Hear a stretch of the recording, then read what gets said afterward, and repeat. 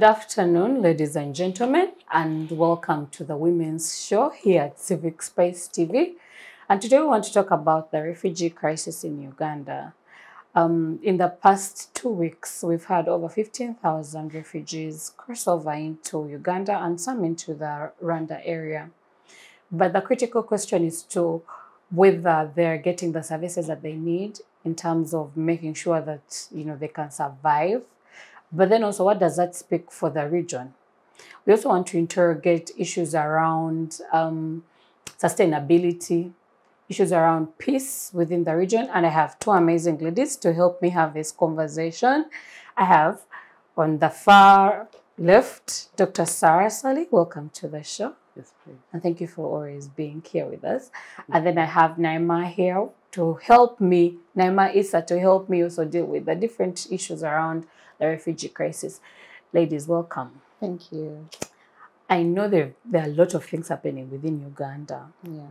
But what tickled me over the weekend was that the refugee crisis, especially with the closure of the transit center, is something we need to start to have an honest conversation on how we are dealing with it or how we are planning hmm. to, you know, hold it. And in, in making sense of that, I thought this was ideal to have you guys who are working in these areas help us understand, you know, what that what what is that? What does that mean for the refugee communities? But then also for us as Ugandans, and maybe to bring you in in this conversation, Naima, because you have you know worked with them, had conversations with them. When we speak about an influx, hmm. what does that mean for us as Ugandans in how we prepare ourselves? Oh, okay. Thank you very much for that question. I acknowledge that uh, the past couple of weeks with the war in Kivu, like um, it's a crisis that we have to. We are receiving refugees in vast amounts.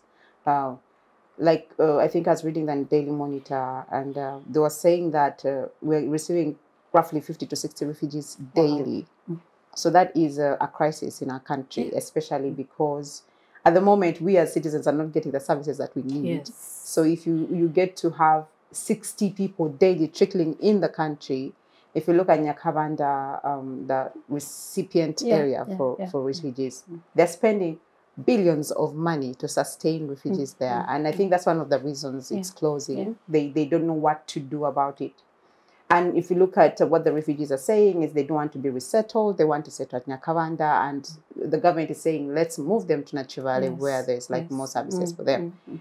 Others have opted to go back Which to me is sad. Uh, they're trying to run away from a crisis, war, um, rape, defilement, and all the atrocities that follow with the war. So them opting to go back, it means we are failing that. in, in a way. to choose to Yeah. die. So they choose to die rather than um, because of the poor services. So closing the settlements to me is not a solution, but trying to uh, mitigate how best they can handle the situation to see that they can give refuge to people who are coming. Um, you saying that I'd rather go back and die, then that is a sad. Mean, it means you're hopeless and you'd rather die than come and have a sorry state. So what it means to our country is looking and saying, what is it that we can do better? Yeah. Because Uganda is known as a country that uh, is a refugee-friendly country, and we host, I think, the biggest number of refugees in the whole of we have the Africa. biggest refugee camp. Uh, so a country that is known for that needs to plan better. UNHCR needs to to you know discuss with the government on how best can they handle such a situation. Hmm. And as an East African community, it's also a challenge on how prepared we are to receive refugees. I remember when the Afghanistan refugees were coming, the government was really prepared. Hmm. Uh, but then what's happening with the Congo? Hmm. Why aren't we doing something similar to that to receive that amount? So yeah, something has to be done. Oh yeah, and maybe to bring Dr. Sarah into this conversation, um, one of the critical issues that comes out of that, but even for Uganda as a country, is they're saying we have been underfunded, and UNHCR is also and partners at the influx level do not have the the quite the, like the big or the necessary funding mm. to host this influx or to host the refugees that are coming. When it comes to to to, to providence of funds and and services, how best prepared can we be as a country, or what other entities can come on board to help you know cushion you know the finance areas when it comes to refugee response. Okay. Thank you very much, Gloria. Mm. And uh, good afternoon, those who are viewing. The issue is, first of all, we have to understand who funds refugees. Yeah. The funding of refugees is never a national government mm. matter. Mm. It is a UNHCR Yeah. matter. So what the UNHCR needs to do is to say, what are our principles? What do we stand for? Yeah. And how are we ready to walk the talk? And it's interesting you made a comparison with the American, no, the Afghan refugees Yes. who were headed to the Yeah, US. Yeah. Now, I'm not sure who financed their repatriation here Yeah, yeah. in preparation for To transit to the away. US. Yeah. So I don't know whether this was a US arrangement or a UNHCR arrangement. yeah. But I know in the past there used to be a comparison between what African refugees got from the UN Yeah. and what the Kosovo refugees got from the UN. Yes. The African refugees had a, a- number of beans, a kilo of posho, Mm. and they looked like they were African refugees, Yeah, really. yeah. And the Kosovo people were getting uh, tents, they were getting uh, Blankets. blankets, Yes, shoes. yes. So people were like, look here, it's the same entity, the UNHCR, Mm, but different then services. different services. So it is also true that with the current crisis in the world, and basically we saw the major funding cuts mm. for refugees in Yeah. Uganda from the UNHCR Yeah. with the first lockdown, Yes. 2020, Yes. where the, I think even the 13,000 was cut to mm. something much less, Yeah. to something like around 3.5. Mm. And it was a crisis. How are these people going To survive. to survive. What is the UN thinking about? So I think as a country, we have done well to provide mm. space. Yeah. No other country on this continent takes Is- refugees like that. Yeah. The other thing Uganda does, and there's a study from Oxford University which actually showcased Uganda's refugee policy as the best in the world. Wow. It allows them to come in, to fend for themselves, and to survive. Yeah. If you're a refugee and you have skills, Okay. in Uganda, you're allowed to leave the camp. Hmm. That's why we have a very big population Yeah. of urban refugees. Most of the people who tailor Bitenge are Congolese refugees. Yes. Yes. So they're being given an opportunity. In other places, once you're a refugee, you're a refugee and you, You survive off camp. UNHCR and World Food Program. Wow. So I think this now goes back to how the UN organizes its things and organizes the principles. Because if the Uganda government, as she said, is struggling to provide for its own people, Yeah. It would be a bit hard pressing to ask it to take care Yeah. of Congolese refugees. Yeah. But I think beyond the refugee thing, we should also ask ourselves why are they always coming, Yes. especially from the DRC? And I think now this is where our governments in the Great Lakes region have to come up and say, why are we? Because beyond the refugee crisis, they have leverage mm. over this country Yeah. at a political mm. level. Mm. And that should be also done to stop the influx. But other than that, I think the UNHCR needs to walk the talk, treat refugees in the world the same way, Yeah. and provide for these people. Of course, I don't know the detail. I know I've read the details of Nyakabande in the mm. news. Of course, there are two scenarios. First of all, being so close, I think the refugee wants to be so close to home. So close to home so that once the fighting stops, they Yes. can go home. Because the other thing we never think about is this, the mental toll Yes. conflict and displacement brings on a people. Yeah. So they always hope to return. That's why they want to be nearest mm-hmm. Yeah. home as possible. But I think the UNHCR is trying to communicate that with all these things around the country, these camps, it cannot afford another one. Yeah. Of course, on the safety side, depending on where M23 is, Yeah. also having a resettlement camp close, Close to, to the, the border borders. normally is also Yes. not advisable Yes. because you, we've had cases in other parts of the world where the fighting forces overrun these camps and pick the people they want. And then the Uganda government and UNHCR will have to explain more. Yeah. So I think in brief, that's what I can say. I think refugee funding is a UNHCR matter and the UN has resources. Let them prioritize African refugees like they do refugees elsewhere. Thank you. Um, maybe then, Naima, let me bring you in there. The fighting stopped in the end of March, and it has just returned with a semblance of months of peace. It has returned, but I know even before that there was a there was a conversation that happened in Kenya in creating the East African Military Task Force, and even they tried to have peace talks. And while the peace talks were happening, there was a break in, in new fighting within the region.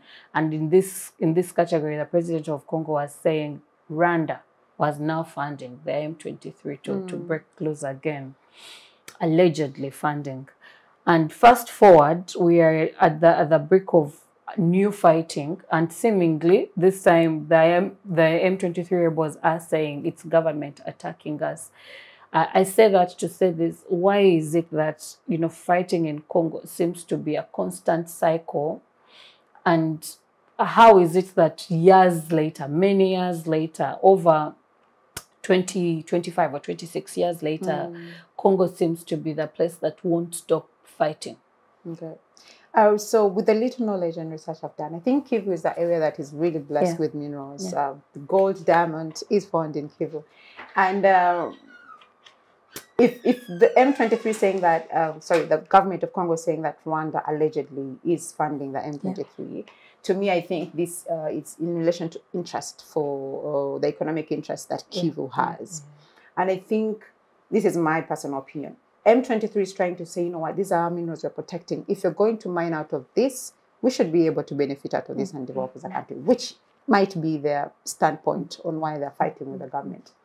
But now, what saddens is the fact that as East African countries that were supposed to contribute to the peacemaking of that area, if the allegations that we are contributing to the war, then there's a lot to, to, to rethink on why then are we interested in that war? What is it that the other countries are benefiting out of that war? Yeah. yeah, it could be something that there's a war, but there might be hidden agenda Yes, as yes. to why the war is Yeah. ongoing. So I think uh, as the East African community, we need to sit and be deliberate and honestly think about why this is happening. Uh, because uh, if you look at the Ugandan, the Northern Civil War with Kony, there were hidden agenda and all that. But as, as, as Uganda, we stood up. And I think we claim as a country that has the biggest and the most experienced army, then why are we failing to, To deal with the yeah, Congo to deal with crisis. the Congo? Uh, if the East African community all comes up and like, you know what, we are going to stand between this war. If they're deliberate about it, there wouldn't be any war going on. Uh, but I think there is something beyond what we Their see. interests their interests beyond the- what we yes, okay. see. And the fact that kivu is a highly uh, you know mineralized area then i think it is beyond just the war. There is something going on. And nevertheless we should also think about the people living in kivu. Uh, as a feminist to me there's some so many things i'll think about. Okay men the men are holding guns and fighting. How about the children? How about the, the, the, the, the mothers? You know how are they being affected with this war? Then we should rethink that. Is fighting over minerals and enriching ourselves more important than the lives of the people staying in Kivu? yes. And it just explains why they would rather go back than be resettled because they have hopes, they had lives and future where where they, Had stay. Mm. So they are hopeful that it will end. But seeing that the allegations of you know different countries also mitigating and yeah. trying to add fuel to what is going on, then we need to ask our governments what it is that they, they're mm-hmm. interested in mm-hmm. and why is the war going on and we're not saying anything about it. Yeah, and, and maybe Dr. Ssali, that is where I want you to pick up on. But most importantly, the role of international peacekeeping bodies. I think Congo has had the longest peacekeeping, you know, initiative when it comes to dealing with war. But and I'll draw. I, I want to do the comparison with Ukraine and the Ukraine and the Russia war and the mm. response that it has gotten from the international bodies, and the war in Congo that has been mm. going on for such a long time with such a long peacekeeping initiative. Why is there a semblance of no end when it comes to you know dealing with the rebel the rebel territories or the rebel fighting that's happening within the Congo? Yeah, thank you very much. I think it is true that the Congo has had one of the longest running civil wars. And uh, it's quite obvious. I mean, there are a lot of books written about the Congo. yeah. Congo has everything that everyone wants. Yeah. And the issues of the Congo are not just for surrounding governments. Yeah. The people with the biggest interest in the Congo are external. True. Mobutu had left when he had uh, given a lot of mining contracts. I mean, if you are to trace the Congo history right from King Leopold and rubber, Yeah, yeah. I mean, it was the biggest producer of mm. rubber then. Then minerals are discovered. Lumumba tries to go communist, he's taken out. And for a long time, people have funded different actors mm. in the Congo to fight. And there's nothing as just people fighting. Yeah. People fight over interests. Yes. There's nothing as just politics. Politics is about the organization of interests Yes. and who secures those interests. So the interests in the Congo, driven by what Congo has, mm-hmm. is global. It is world scale. So I think the matters of the Congo cannot just be left to neighboring governments. Because actually, those we claim to see as international peacekeepers or international forces, the countries contributing to those forces are also the same countries with economic interests Mm. in the Congo. Mobutu had given a lot of mining contracts to US companies. Those who have succeeded him tried to change that balance of power by giving them also to others. Mm. You had the Uganda and Rwanda and everybody fighting in Kisangani, and the solution France did was to do Operation Diana and mine all the Yes. areas so that there's no Yeah, access. So issues of the Congo are not issues just of the neighbors and the East African community. Mm. The biggest players and the biggest problem in the Congo are the so-called agents of peace mm. elsewhere in the mm, world. And uh, I think that has to be faced. But of course, I think as a government, the DRC itself has to work on reducing the opportunities for opportunists. Mm. Of course, you have the long running con- contracts overlapping. Yeah, So that yeah, creates true. a challenge, Mm. and people feel they still have a stake where they didn't.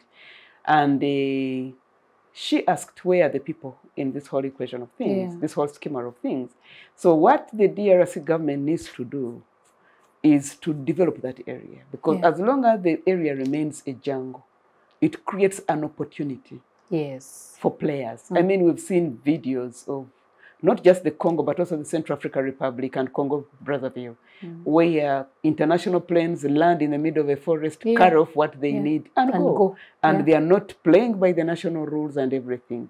So these countries are very big. These countries have one of the biggest equatorial rainforests we need to protect. So these countries need to be supported by bringing the actors mm. to account. Because globally, you can track which diamond came from which part of the Yes. world. Yes. You can track which gold is coming from there. These financial flows are seen on the international market. Yeah. So those with resources should know and call those people to account. Because at the end of the day, and until that is done, Mm. we are going to see more and more people living. Because that's how people who do direct extraction do. Yeah. Their interest is to chase people off the land Mm. by financing wars. Like so, let, M23 let them be the out one. so that we can Yeah. be mining. Before M23, we had the Mai Mai. Yes. Before Mai Mai, we had other groups. At one time, there was the, a toying of the idea of cutting the Eastern DRC off. Is it Wow. Western or Eastern? Yes, the Eastern, the one which neighbors yeah. us. So I think we are trying to. There is a time we had seven countries fighting out, fighting it out in the Congo after Congo. Kabila one had taken power. So I think the issues of the Congo are everyone's issues. Everyone has to be held to account, but the biggest responsibility lies with the biggest beneficiaries, and those are the Western players. And then you asked a comparison with Ukraine. Yes. Of course, the way Ukraine has proceeded with Russia is also a different path, Yeah. in that Ukraine initially gets annexed to Russia from Yeah. the 18th century, yeah. and historically Ukraine has said we are different. Yeah. And of course, at some point it gets independence, but unfortunately, it gets independence. Ukraine is the, was the base of the USSR's Yes. major military hardware making factories. So it is armed to the teeth like Russia's is armed to the teeth. And maybe when people are equally armed to the teeth, people think twice before you out. start a war. Yes. So the Western world does not want any idea because I of the hear fear that, and Russia has been clear, mm. Mm. they will not hesitate to use nuclear weapons. Mm. And if they ever do, I don't think they are going to do, but if they ever do, the whole of the of Europe is doomed. Is doomed. We True. shall all be doomed, but Yes. Europe will be More at the nearest. It is closer. So you have a war there which everyone is pampering all the actors Yeah. to ensure Yeah. that because the thing is close to the doorstep.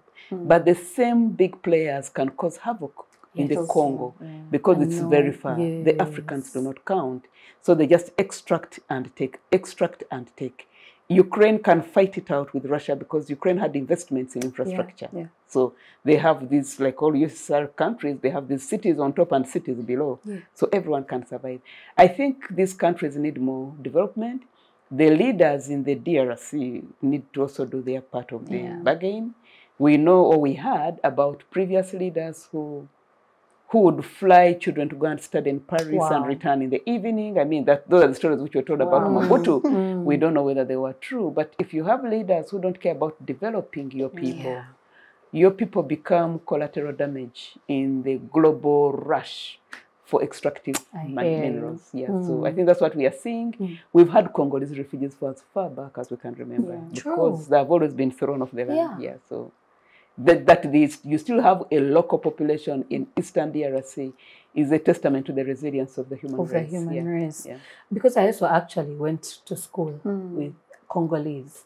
Now they are settled in the USA. Yeah, they're in US, they're in Canada, they're all over the place. yes. Yeah. But I remember that I knew Congolese even before I understood what the refugee crisis really looked like. And, and that speaks to what you were talking about when it comes to women and children. I watched a man frantically really speak about, you know, the impact it has on women and children if Nyakabande is closed. Mm. They're like, what you don't see is the human story in this crisis. Is that Mm. these women cannot survive. And if you're telling us to go to Nakivale, there is a lot at stake for us. Families have already been separated. Yeah. They don't know where their children are. And those that are with their children, their children most probably are either tired, frustrated, and emotionally. So, how are we not just even cushioning, but helping them thrive in this crisis, especially women and children? Mm. Thank you for that question. So um, I'll make reference to this weekend when I was talking to some refugee women who were having conversation with them. And there's one thing I noticed is they were saying um, it is absurd, but this is their, their truth. They're Mhm. like, our husbands were important people working in governments back home. Yeah. And so when we come to Uganda and you tell them to um, go and tembea in quotes uh, things, they cannot do it because they are used to doing civil life. Mm. So what is left of us as women? It's us to toil to ensure that we put food on the table. We can do any labor work Mm. just to make sure that our families stay put. Some of us are widows with eight children, so we're supposed to take care of our children, Mm. ensure that they have education and get a life. So to me, that spoke a lot to them. What do the men do? Because even if the men are there, it's still the women that take care of them. So the effect the war has on women is continuous, not only during the war, But long after the long war. after the war, Mm. even after they are resettled. Because I imagine even if they, they are resettled, they say to the US or the Canada, it's Mm. still the woman who's going to, you know, look out for the family. The effect it has. So moving them from Nyakabande to Nakivale still. How imagine a mother with eight children Yeah. and are being moved. So how sure are you all of you are going to be moved to the same, you Mm-hmm. know, settlement area? And the, the desperation that comes with as a woman for where are my children? Because we've seen over the years the war affects women differently Yeah. from like different from how it affects men. For a man, they can survive on their own; they wouldn't mind about children. But a mother cannot let her children. Yeah. Uh, she cannot even sleep or eat before her children does that. It really drastically affects them, and uh, this still explains on how much violence still the mothers and the women and the Mm. girls face Mm. from the other male counterparts. Uh, if a woman is going to be a laborer, you know, provide domestic services, Mm. The abuse that comes with Yeah. the GBV The issues that issues, comes yeah. comes with the defilement, the rape cases. Because talking to them, some are like, we get defiled, we get raped, but we cannot even report because we are refugees. We do not have that status like a citizen, you know, to Mm. be to be able. We don't know which services are available for us. For we us, don't know true. which healthcare services we can go for. Some even claim that they're told to pay exorbitantly Wow. for the Form 3, you know, for a police surgeon to really examine them and uh, determine whether it was a defilement or rape. So these issues uh, need to make us wake up as a country. I know UNHCR provides and takes care of, of, of, of um, the refugees, Mm. but then as a government, with corruption and these issues that are coming up of making them pay to get Mm. services that are supposed to be free, Yeah. what are we doing as a country to make sure that uh, we have better policies, you know, streamlined to be able to help refugees and make sure that they receive the services in the Yeah. way that any other person would. With the human right aspect, not the fact that they're not citizens, Yeah. but as humans, human beings, Humans first. how do we protect Mm. their rights and ensure that they're protected even in the community area that they're living Mm. with the with the host communities? That's interesting. Um, Dr. Ssali, you spoke something about um, having infrastructure within these centers or within Congo. But um, as I said, yeah, I thought, yes, Congo has now joined the East African community as a seventh country. Congo has a presidency that is there. I mean, they have a president, they have a almost like the political life in Congo seemingly looks like it's present. They I mean they have a government. They are now part of the East African community, meaning there was a, there was a government in place that decided that's that's a good step to take. And when you look at it in the in the geopolitical in the in the Great Lakes region narrative, it almost feels like Congo as a country is existent. But then how do we, you know, test the not just even the resilience, but the impact of this government that is in place within the Congo? Can it deliver beyond infrastructure, but can it also deliver to not just protect its citizens, but also to have Congo thrive within the region? Because I'm imagining as the Great Lakes region, or even as a South African region, every country is going to come with different in- interests to the table to be able to benefit from from from the from the East African region, from the East African community, from the different initiatives around identity, money, trade. How then can we have the Congo benefit from such a dynamic in the presence of such a narrative around it? Yeah, thank you very much. First of all, I think the Congolese government is working. Hmm. Yeah, so Congo is a big country. Yes. It's more than five times the size of Uganda. So we get to see what affects us. But the other parts of Congo are functioning like any other country. Hmm. It has an education system, it has universities, it has healthcare systems. So it is functioning like any other country. Wow. But we can also not stop the fact, we cannot fail to appreciate that there is a war in the hmm. east in the because of east. rebels. Hmm. I mean, Uganda had a war in the north The for North. 26 years Yeah, and Uganda that never stopped to say that the mm. Uganda government is not working. It was working. Yeah. It kept passing budgets. It kept looking after its people. So we, so there is a war in the DRC, and when the DRC is because the forest cover. This is where we need also to appreciate the geography. Mm. Yeah. The intense forest cover in the country, with all the development on the Atlantic coast mm. and little in the east, is, I mean, is, is what is partly the problem. And I know the governments have tried, but one, they should not cut down the forest because that's very, very important Yes. for climate Yeah. and does uh, not create climate change. Mm. But in these different places, they have big cities. These cities like Lubumbashi, Kisangani, they're bigger than even Kampala. Mm. So it's not a backward country. It is just that it has so many people who are interested in playing. So you have to appreciate the effort That the Congolese has. government Yeah. is trying to do. Okay. But also, when you have a war zone, when you have a war zone, you also have to know who gets to be the players in the war zone. Hmm. Eastern DRC, as a war zone, has been under UNHCR for a very long Yeah. time. And that's where most of the international peacekeepers are based hmm. to ensure there are no human rights violations from the government. Hmm. So you have the M23 period, so you had the Mai Mai, then you had the UN, then peacekeepers, then you had the government forces, and then you had the neighboring government forces. Mm. Yeah. So all the others we asked to pull out in favor of the UN. So the UN should be in touch with the DRC and do that. But of recent, you've had our government signing pacts Yeah. with the DRC to try and create a road network and all of that, mm. to even allow Congolese to travel amongst themselves, their own communities. So it is costly and it's going to take time. But to go back to the Congolese refugee crisis, we should not only focus on Nyakabande. Yeah. Nyakabande was a transit camp. It was a transit. camp. But out of the 12, I think 12 refugee settlements we have in this country, five of them are to Congolese refugees largely. Mm, wow. Whether you're talking about Rwamwanja, Chaka, uh, Nachivale, Nachivale. Ch- Changwali, Chiriandongo, all these areas Are largely Congolese. Yeah.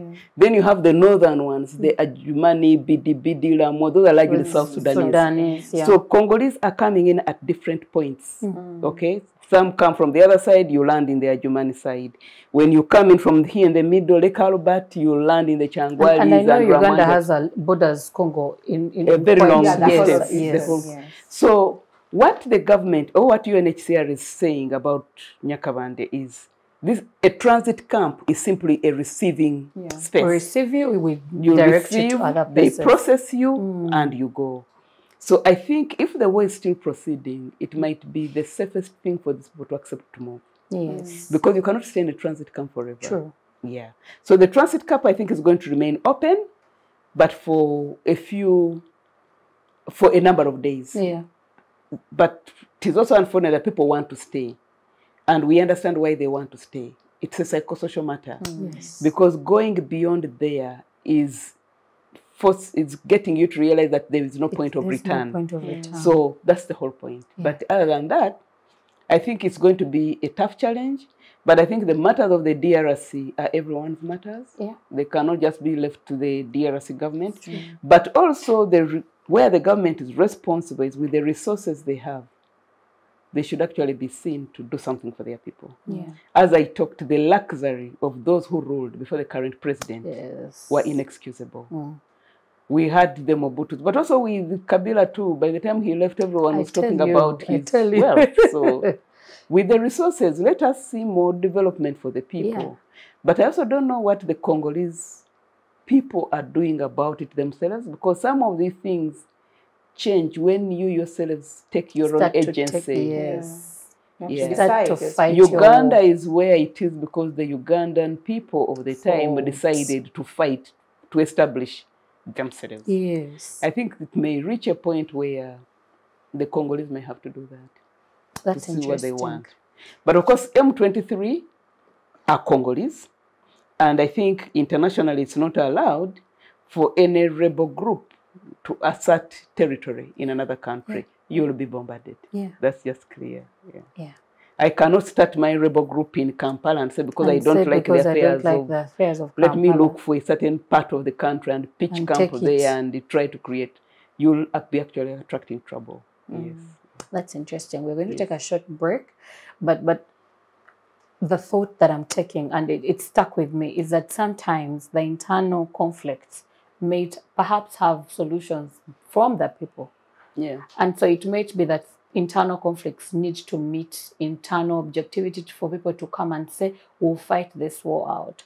And I hope that's a thought a Congolese out there can take. But anyway, for us ourselves, there are some things within us that ought to be able. It, it takes a Ugandan to figure. out. There are many Congolese elites all over the world. Indeed. So some of these, even something as simple as what are these contracts holding us? Yeah. Yeah. Can we get to see Yes. what they say so that we get an amicable solution for the people? No one is stopping people from extracting. If you have the technology and we don't have, Yeah. you come and you extract the And oil. then- and then they but what take are the benefits Yeah. for the people Yeah. and for the government? That's all we are saying. Thank you. Yeah.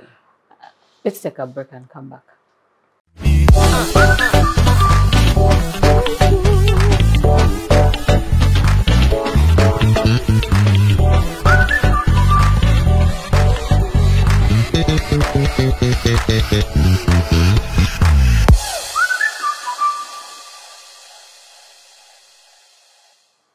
Welcome back. Please don't forget to like, subscribe, share, comment, and also continue these conversations in your networks because you know they're with us, they're part of our reality. So we need to have voices add in and chip into how we can have a different narrative going forward.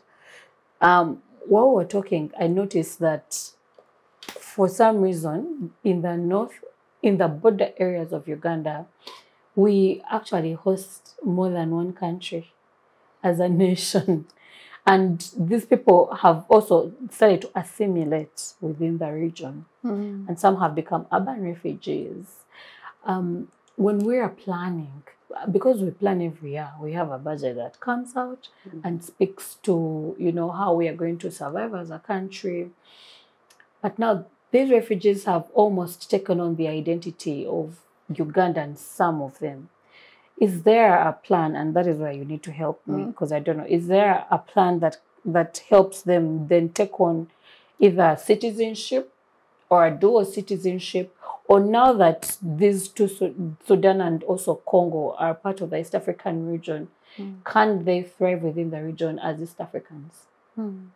Yeah, yeah. Uh, okay, when, with having a plan as a country to um, not allow people assimilate and you know because there's so many people I've seen their IDs. Someone has a Sudanese name and they have a national ID of Uganda, and you're wondering, how, did How? they get this genuinely? Um, did they go, you know, and declare dual citizenship or what? Mm. I think that's a weakness on our side, uh, partly because we have the the best policies in relation to integrating the policy uh, that refugees in our country mm. where they have freedom to move.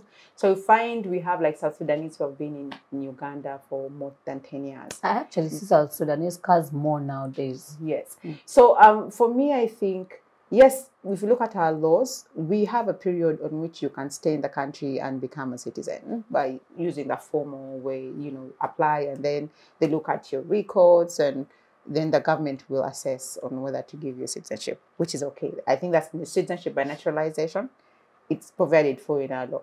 However, I don't think most of them do acquire the citizenship that way. And I Mm. think it's something that government needs to look at. It's not only the Sudanese, the Congolese also, uh, people from Burundi, people from Rwanda, who have become citizens. And you question, are they citizens following the legal, you know, way that is provided for?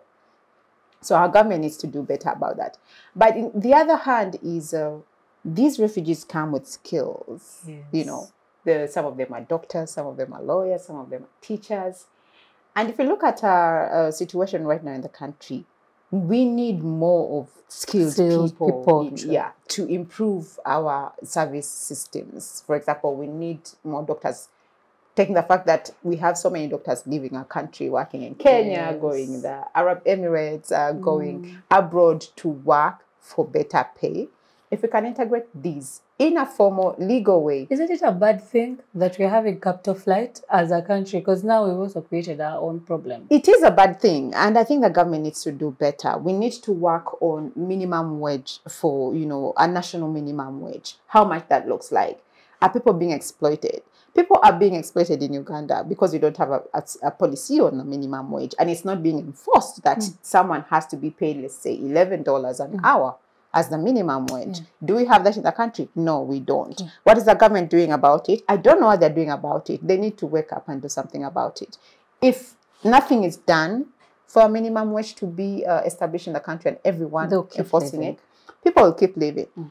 Uh, the issues of trafficking that we're hearing now, that young people are leaving and yeah. you know labor externalization, it's because we don't have a policy in place to protect the citizens.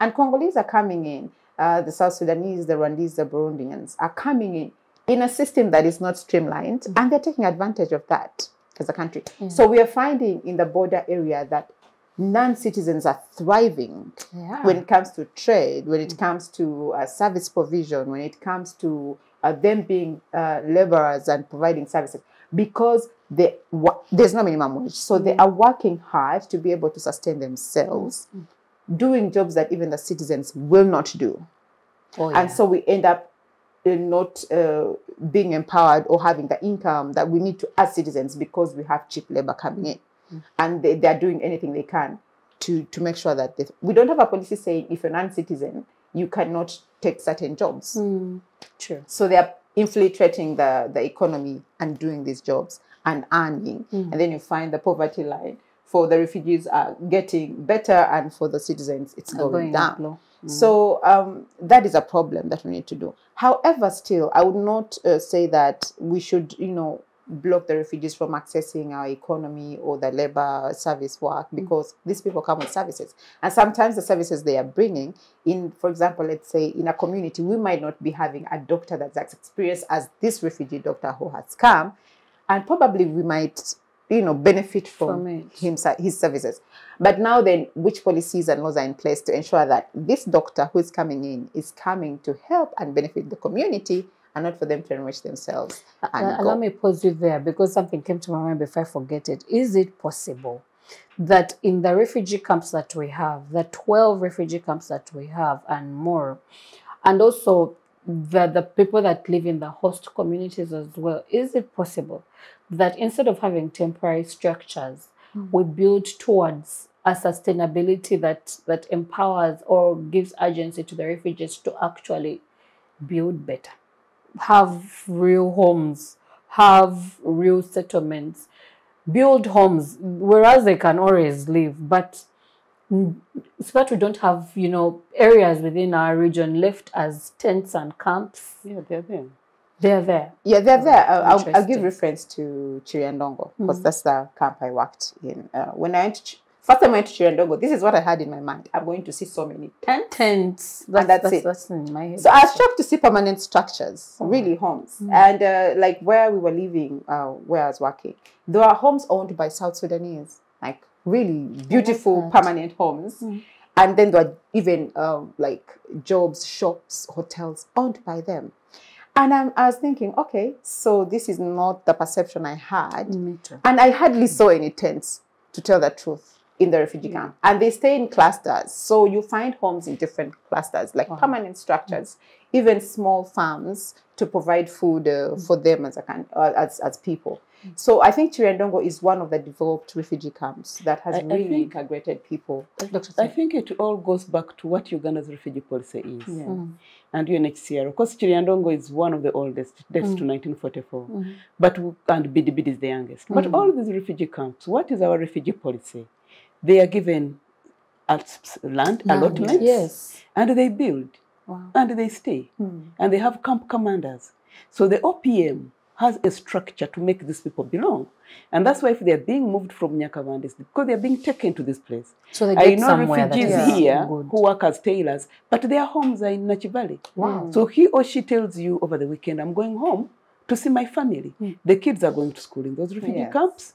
And sometimes the refugee camps have actually better resources Then than the host community. And that's yes, part of the conflict, Mm. the issues of resources and the issues of environmental degradation. Mm. So I think the policy is in that, I think maybe we could have, should have been informed by the policy that the OPM provides Mm. for all structures these people to be. And uh, I have been able to do 2019, 2020, we did studies in the four refugee camps, Mm. Bidibidi, Kyangwali, Kiryandongo, and Nakivale. Mm.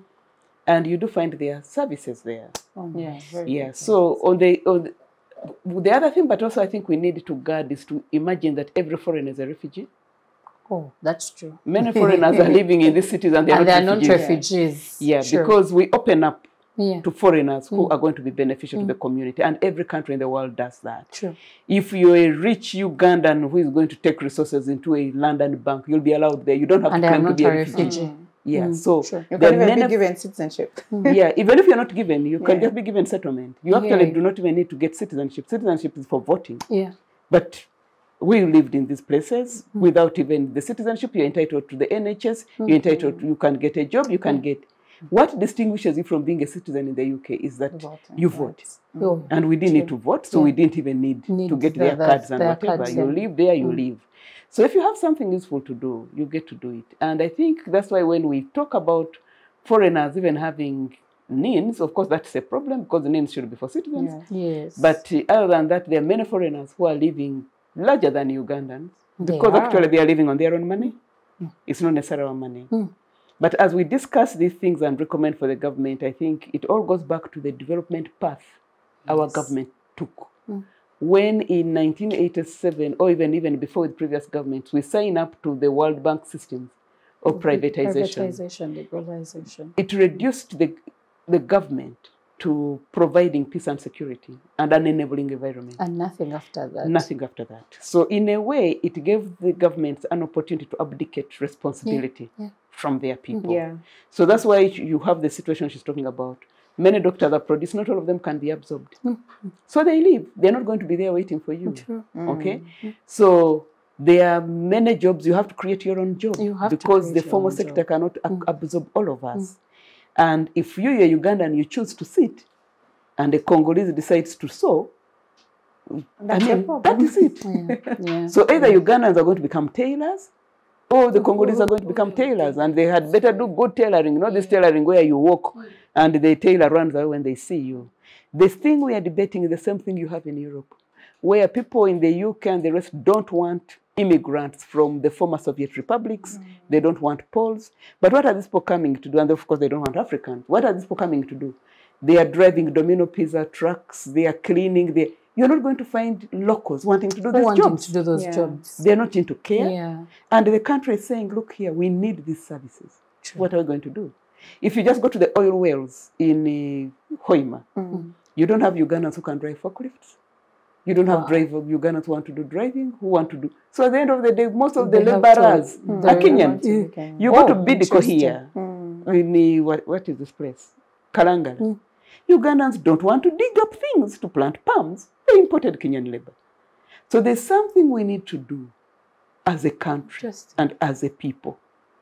So simply feeling large and claiming entitlements Mm. won't take us Won't far. take us far. But also going back to the topic is that if refugees have skills, let them Let be them, allowed. Yeah. Because the services they're being provided for by UNHCR and by our government is limited. Yes. them, Of course, I would be cautious about a, a foreign doctor coming in and working on the people. Mm. They need to go through a licensing mm. system. Yes, yes. But there are basics that hmm. they can do. But beyond that, our government should plan better for its people. Hmm.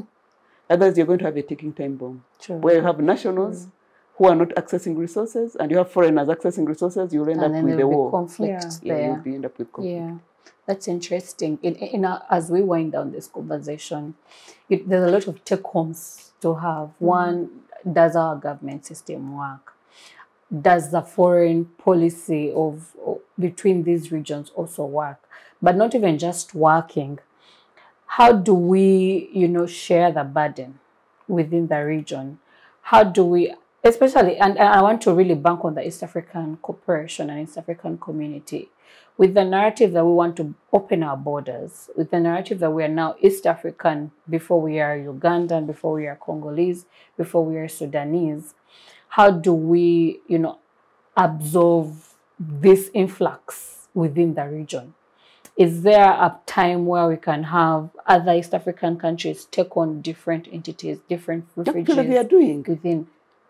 The Baido is one of the biggest refugee camps on the continent. Hmm. It is in Kenya. Hmm. Interesting. Yes, so they are very, do they very- have people from the Congo and people from Yes, Sudan? actually, Yes, they even do. for Uganda, what I didn't say is that we only don't have Congo and Sudanese. We have Somali, we Oh, have yeah, we Rwanda, have we have Burundi, we have Eritreans, we have Djiboutians, we have hmm. so many.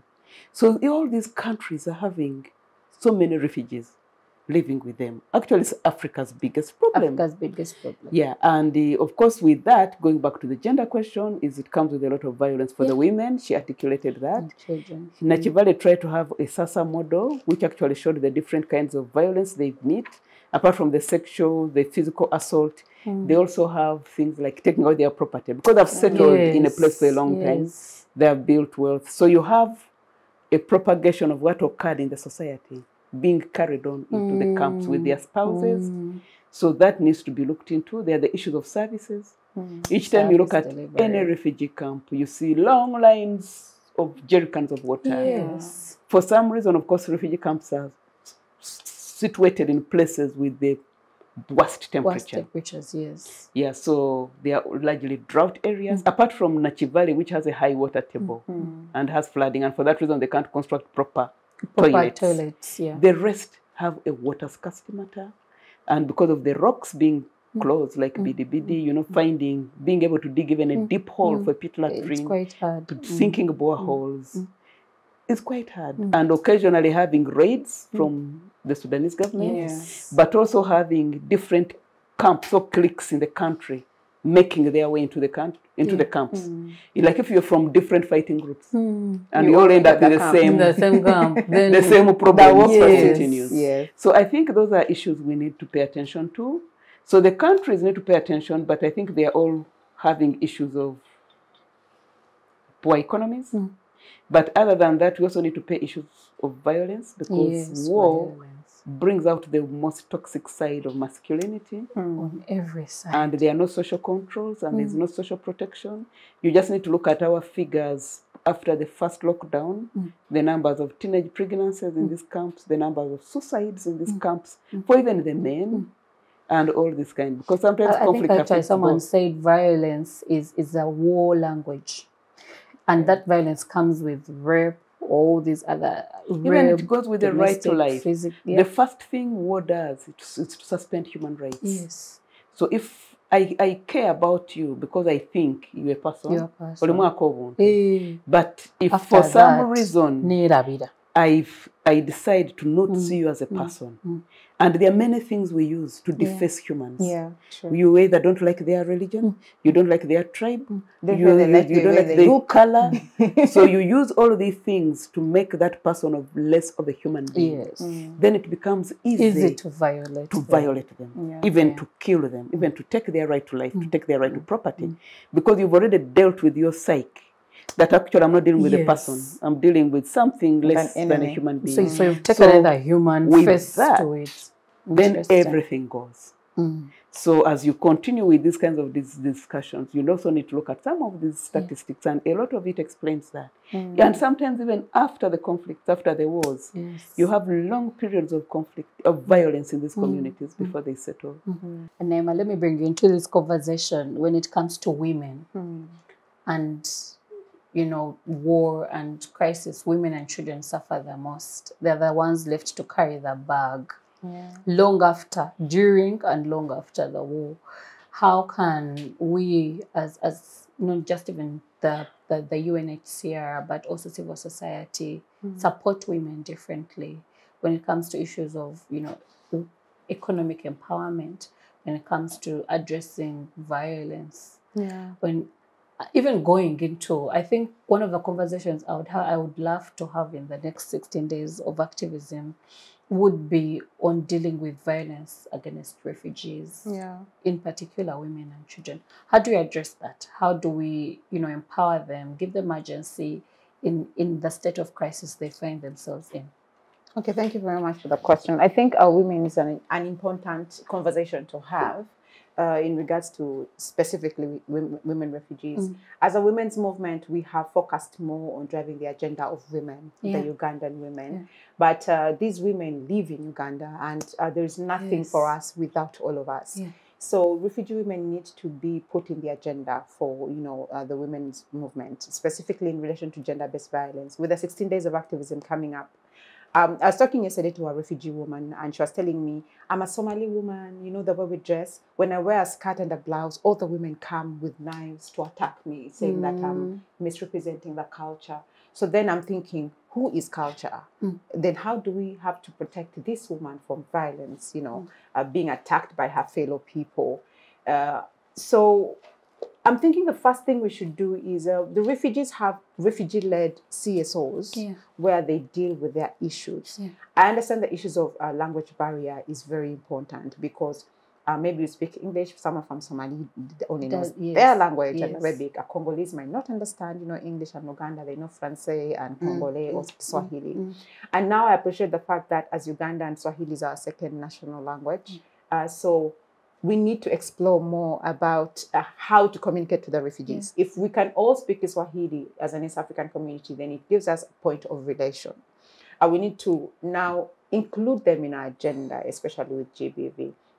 Most of them face challenges if they report these GBV issues because the leader's like, I reported the police, the police told me to go back. If they attack again, I go and report. That is not a solution she needs. What if her life was in danger? Then do we have to take her back uh, to to, where to danger, danger is? is yeah So um, I think we need to tackle issues to do with how do we give and provide services that can help the refugee women access justice and access, you know, uh, health. If they're to report an issue of, let's say, defilement, rape to the police, how are we helping them to ensure that they get the services that they need to as women, not refugees, but as women, to make sure that they are protected, their, their rights are protected as women, they're not facing violence as women. And their children uh, at the same time. So, as women's organizations, let's look out for uh, those organizations that are refugee led that are dealing with GBV because there's so many of them. I've heard of Angel, I've heard of Real. Uh, there's so many organizations of, led by refugees that I did not know about, and big organizations like let's FIDA, UNET, Uganet, yeah, uh, the CSOs that deal with women issues should partner with these organizations and see how then can they provide the services Yeah. that they do provide for an everyday woman to the refugee women. I think that's the best solution. It's shocking that they do not know about these major organizations that we have in, in Uganda. They have never heard about it. And it's because maybe they've experienced trauma dealing with uh, some certain organizations in the pretext of helping women. yes So we need to come up straight, form intentional uh, partnerships, Partnerships. with the refugee-led organizations, and see how then we can provide them, help them uh, access these services, help them uh, deal with trauma, help them provide, because UGANET provides, uh, I think, services that trauma led. We have refugees who are women that are dealing with HIV. Yeah. How then do we partner with these Yeah. organizations to ensure that they get the services that they need? Uh, and, and your answer also deals with intersectionality Yeah. too, because a lot of times when we speak about women, we are speaking about able-bodied women, Ugandan women, and we forget there are women who are also refugees, who most probably also have HIV, Yeah. who most probably need mental health care.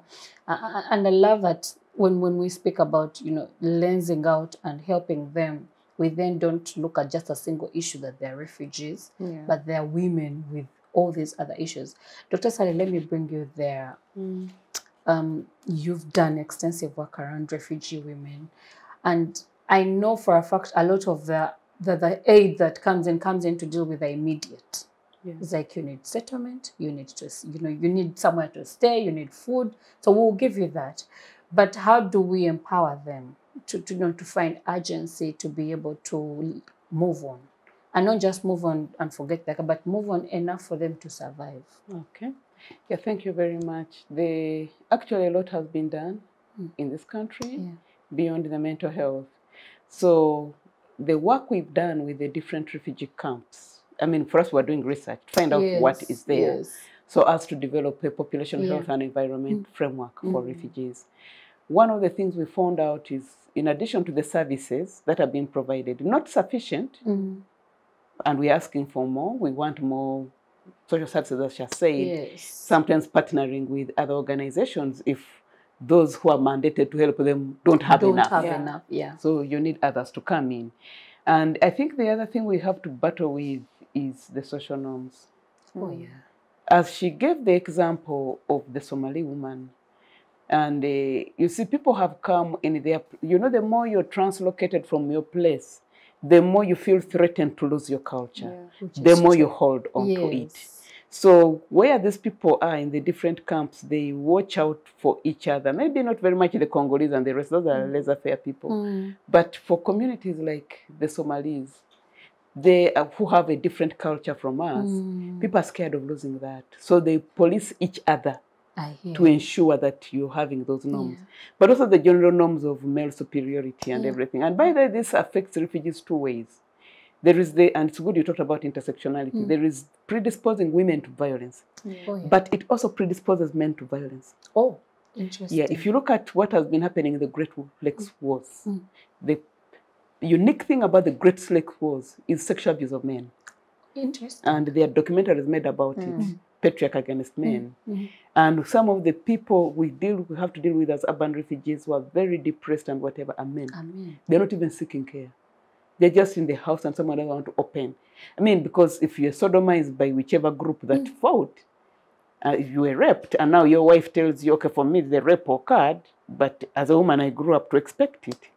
Now you you. have been raped, so are you still a husband to me? I hear you. And then she leaves. Mm. Or even when they were in the DRC camps, and these men tell you stories of when they went to report rape, the UN camp is like, oh, oh, oh, oh it's so sad that it happened to you. It is so hard it happened to you, but we are set up for women, I'm in shock. not for men. So the men fall through the cracks, and so that. So those are some of. And why are the men being targeted? Because it's the way to break the spirit of a group. Mm. Yeah, because yeah, sad, but women do get raped. That one we've known historically. Oh, hear you. So now the new skill of raping men is a way to really break the spirit of the And it fighting does forces break mm. and it spirit. does break. So as we talk about women's mental health, we also need to talk about men's mental health. Beyond that are the just use of things that war radicalizes males and brings out the mm. worst form of male toxic, I mean toxic masculinity. Yes. We have some projects we're even dealing with in northern Uganda, not necessarily on refugees, but on former IDPs, mm. to try and make the men less violent. I hear you. Yeah, because how do people react to a thing beyond? I mean, we can disagree with her disagree with her very badly. But sometimes if we've all been charged to deal with disagreement differently, we can actually disagree very, very, very badly Yes. with very bad consequences. So all these things need to look into. But one of the other things I found happening in the camps, especially the refugee camps, is they are not just being given health care and water and relief. In addition to the allotments they are given to dig for themselves, they have also been given skills like Yes. tailoring, Yeah. small entrepreneurship Yeah. things. Of course, we Yeah. ask for more, Mm. but there's something they have circles Mm. where they collect their money together, Yeah. and the the OPM needs to be pushed to bring more empowerment things so Yeah. that people end up leaving the Mm. camps. Mm. And I think as long as they have that, then they can dream of a life Yes. beyond, war. being Mm. dependent. None of us wants to be a recipient of aid. Yes. That in the morning you wake up with your bowl, Then then beans posho, and you Mm. eat and sleep, and tomorrow you wait. I think human beings are, are wired for work, for doing something for Yeah. themselves. So if this opportunity, if you go to the camps, there's you must have seen this charcoal burning, Mm. tailoring, they're selling these small, small things, small retailers. Mm. So it shows you that if they actually had financing, They'll do more. they will do more. Mm. Of course, with regard to assimilation, they, there are things which happen, which are happening in that their kids can get access to schools. And as I said, the problem is sometimes their schools are better than ours, and that creates a Yes. conflict. But I've seen like at university, whether you're dealing with Mastercard or whatever, there are quotas for refugee kids, Yes. and maybe that will help them excel. Uganda, for long, if you find more many Sudanese gov- Mm. peop- Sudanese doctors abroad who are black Sudanese doctors who are in their 60s and I've seen 50s. If you ask them where they went to school, it will be Kisubi, yes. it will be Budo, Mm. it will be Yeah, Makerere, yeah, Okay. it will be Makerere. Mm. So we've had a history of integrating people. The only thing we need to ask is when these people went through our systems and were given the opportunity and they went and excelled on the platform, what are they bringing them back home? Home. So it's good to be in those countries and carry foreign passports, but your identity still remains African. Yeah. So you need to do something. And I imagine if the Congolese in the diaspora demanded for more from their governments, Mm. formed what we have the equivalent of the Uganda North Coalition, America, Yes. And did something, those kinds of things, Mm. the governments, whether in Uganda or Sudan, should respond better Mm. than just saying, oh, Africa is a gone case. Mm. But the issue of women, women do suffer a lot because when a war takes place or when you're a refugee, your domestic roles do not end. No, they don't. The child will cry and the child will Mm. want food. Mm. If you're in squalid conditions, you are exposed to violence. Sometimes even the males in those homes have left. Sometimes, like for the Ugandan IDPs, or what we are tracking in northern Uganda is when they went back and their husbands died during the 26 year period, the home where you were married doesn't want you because your Yeah. husband died. Yeah. The home They where you came from, They say we gave you we away. You away. So there are all those things we need to Mm. focus on. Stigmatization. I also noticed that the some, especially for us who now know that the also the, the, the, the war in the north took away land from them. So you would come back where your home was. Ah, like this is not your land.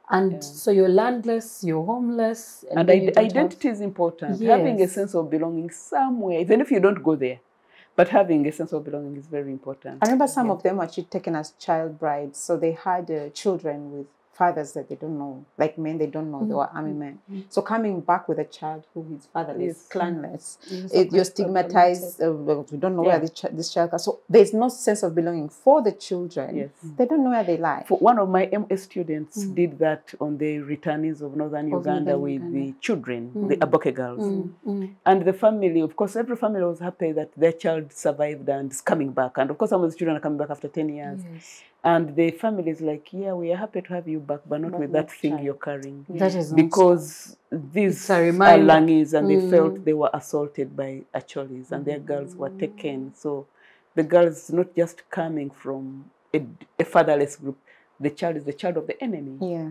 I hear you. So we are ready to have you home, but, But the not, stigmatization now, the child not with phase. that. So at the end of the day, if you went in the initial aftermath, apart from because they would go through the Rachele Center Mm. and then they would be resettled, so you'd find now these girls because they, th- their argument was it is my child. child who kept me alive. Mm. When I was taken, I was ready to die.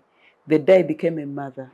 I, I decided to I survive. determined to survive, and that is the reason I became resilient. And I'm here. so the two of us are stuck together, me Yeah, and my child. separate me So they leave child. home and then they pitch to do some odd things Mm. around the rat town by then. I don't know what has happened now, Mm. but that became the trajectory. But we also had issues where children who had killed were not wanted back in the Oh, community wow. Because the children were meant to kill Yes. your murderers and they were young and they used to be placed in these homes where they're just children.